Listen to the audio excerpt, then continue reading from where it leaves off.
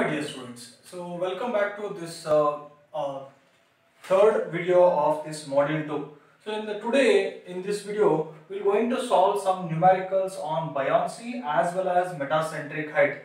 So the whatever problems I am solving today, so these problems are repeatedly asked in the VTU examination for 10 to 12 marks. So if you just cross check all the VTU question papers, so one question will be asked either on buoyancy or meta center for 10 to 12 marks.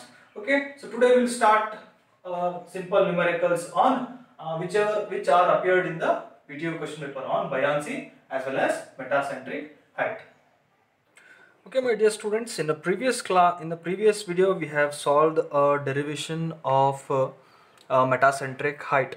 Now here, uh, here I have given us uh, some uh, important steps to solve both buoyancy as well as metacentric numericals. So if you follow these steps, you can easily solve any number of uh, problems. So, okay.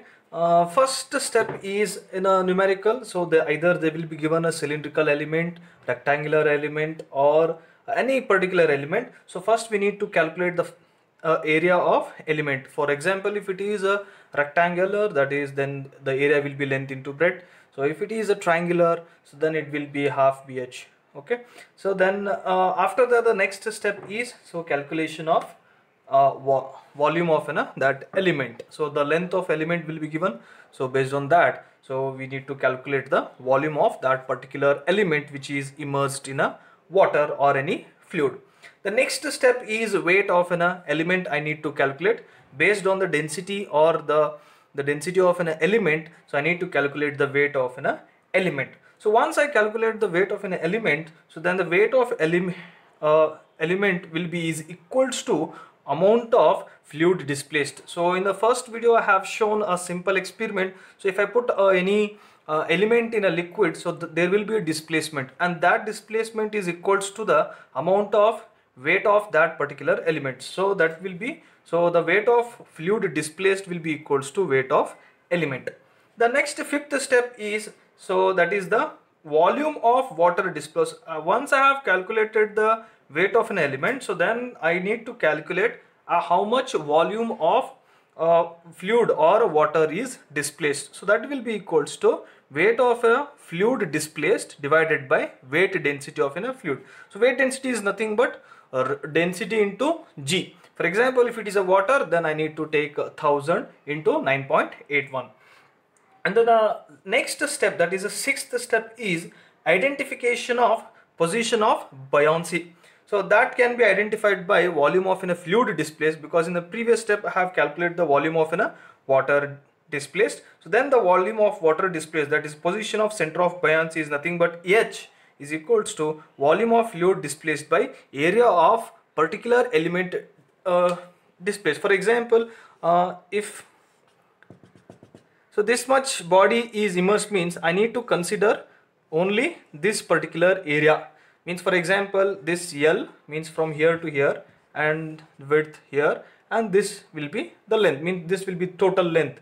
So length so this will become H so that H is equals to center of buoyancy is equals to volume of fluid displaced volume of fluid displaced divided by area of element immersed. This much element will be immersed so that much I need to calculate. In the next seventh step is a position of center of buoyancy. So center of whatever h we have calculated in the sixth step. So if I divide it by 2, so then I will get the center of buoyancy. So if you if you are solving the buoyancy problem till seventh step uh, is enough to uh, get the answers. Means if the buoyancy problems are asked 1, 2, 3, 4, 5, 6, 7th step is a last step. So if the problem is asked to identify the metacentric height, so then I need to go with a, the next uh, step that is metacenter is equals to gm equals to i divided by v minus bg where b is a distance between the center of gravity and the buoyancy point and gm is a distance between center of gravity and the metacentric metacentric point. I is the moment of inertia of any particular element and v is the volume of this element So, so these are the eight important steps. If you know these steps, you can solve any number of problems. So today in this uh, video, so I will going to solve some of the numericals with respect to the VTU, uh, which uh, which the in VTU exams are appeared.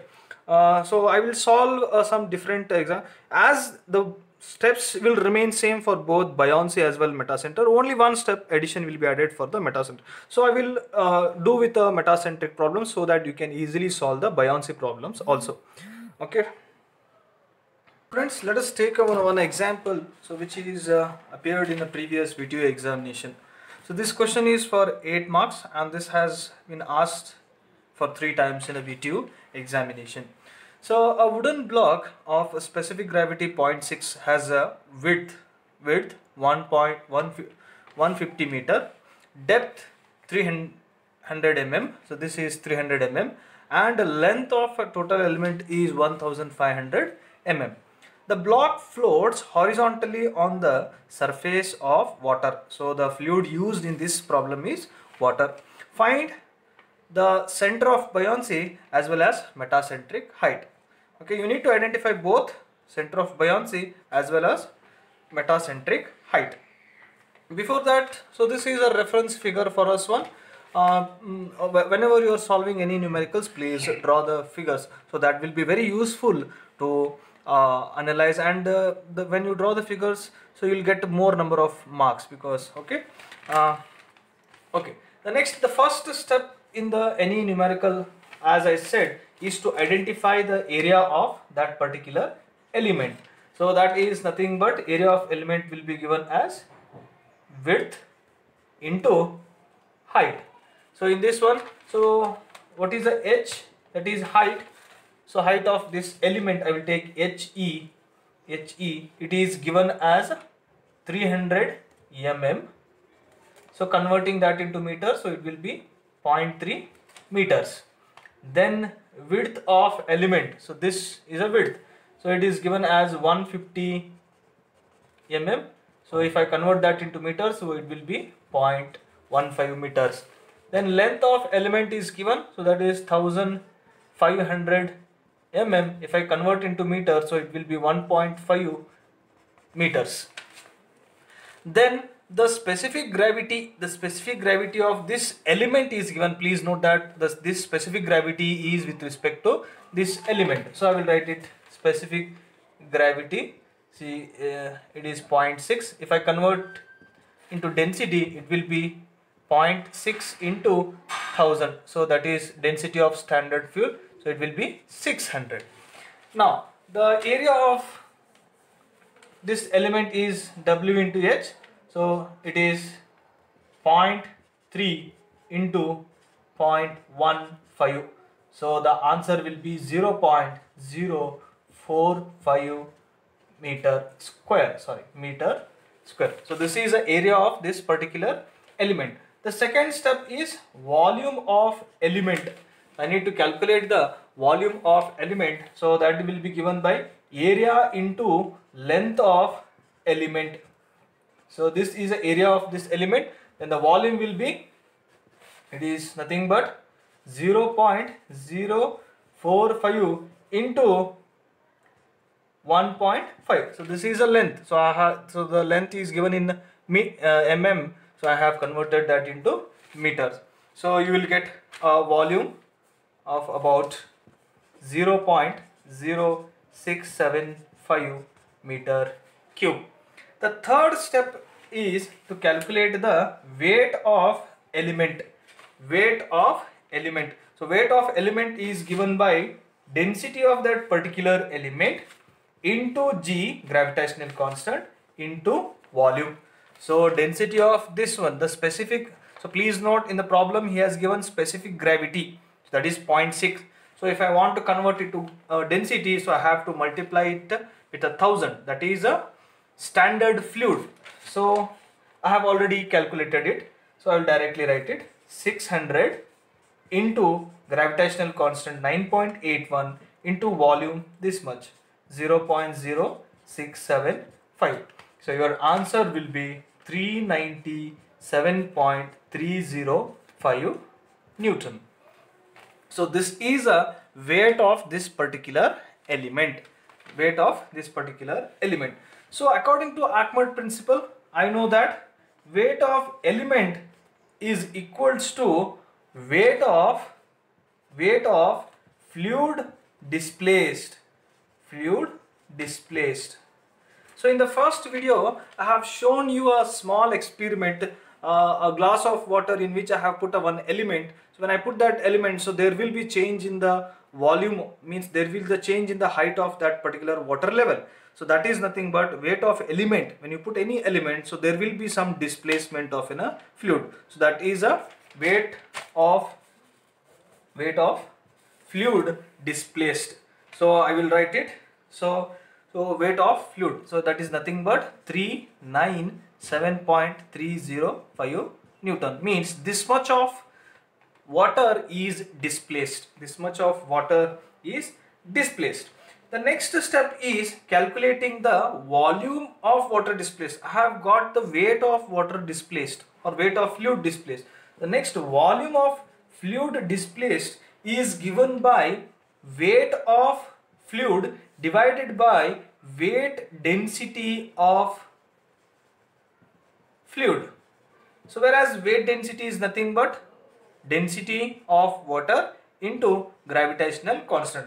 If I have used uh, water as if it is it is already given in the numerical that it is floating in a water. So I will take this density as a water if uh, if any some other problems if they are having this particular water instead of water if they mention uh, specific gravity of 0.9 so then you need to multiply it by 1000 so then it will becomes 900 so but already it is given 1000 means density is water so i will take this as a density of water 1000 now weight density of fluid. So it is already calculated. We know that weight of element is equals to weight of fluid displaced. So weight of fluid is nothing but 397.305 so G is 1000 and 9.81 so density is 1000 G is 9.81 so then the volume of fluid displaced you will get it around so you will get it around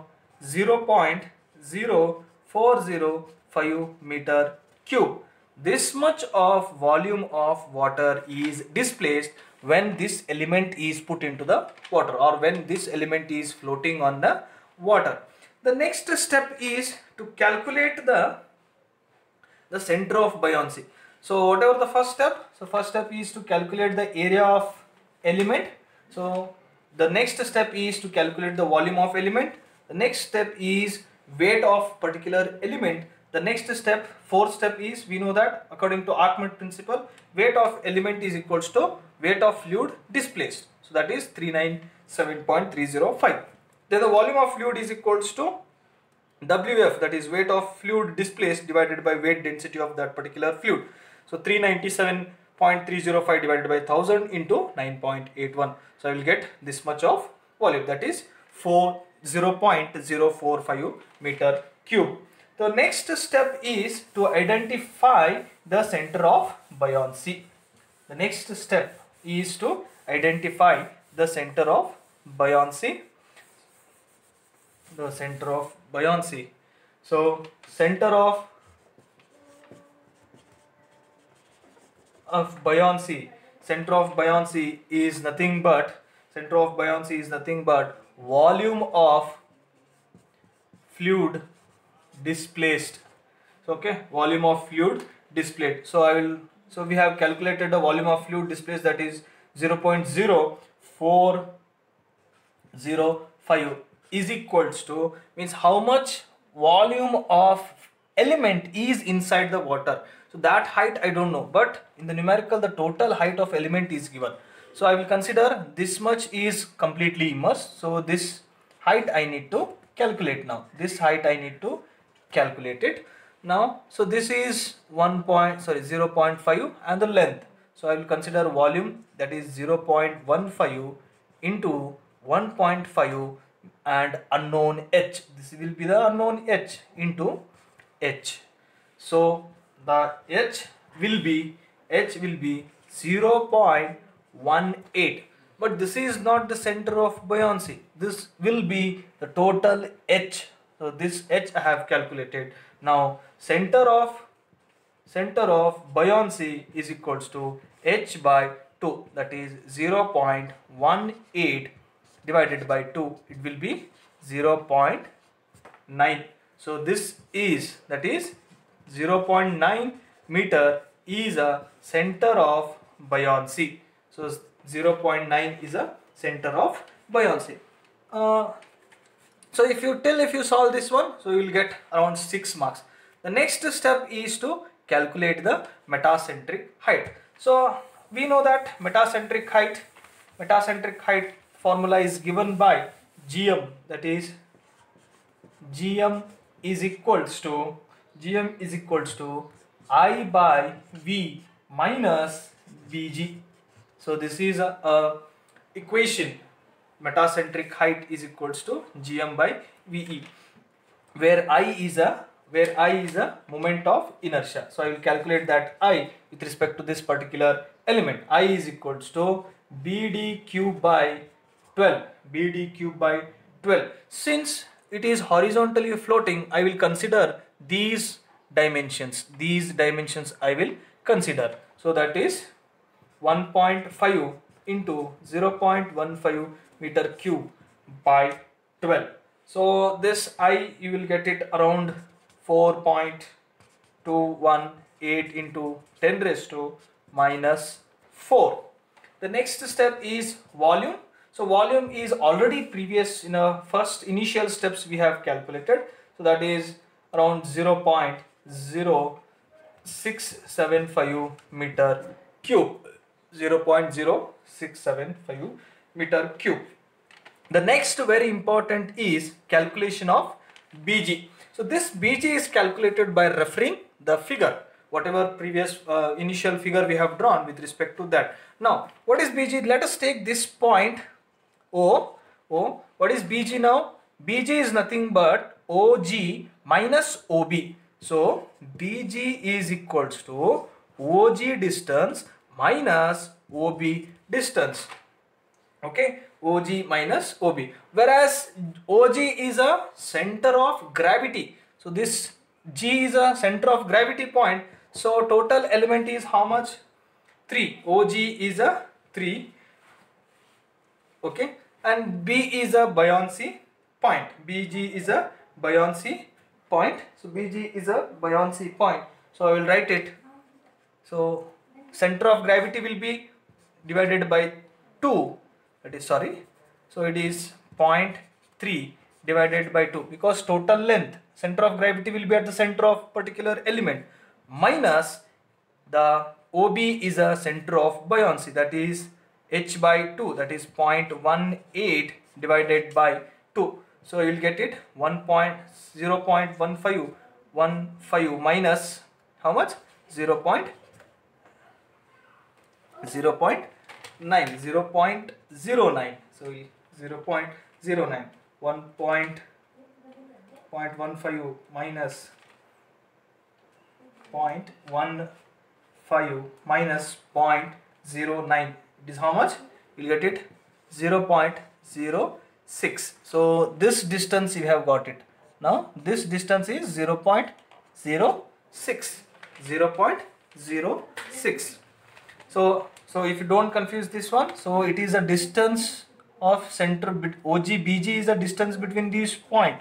Okay? So og is a center of gravity center of gravity of whole element. So length is given. So that is 3 3 eh, hai 0.3 meter 0.3 meter so that is divided by 2 will be the center of gravity.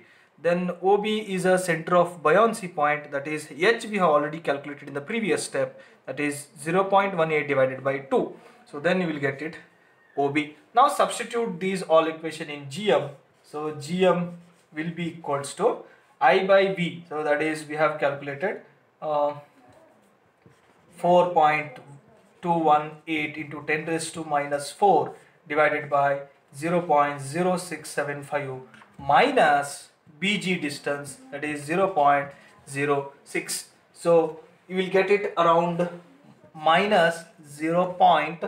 0.0490 496 meter.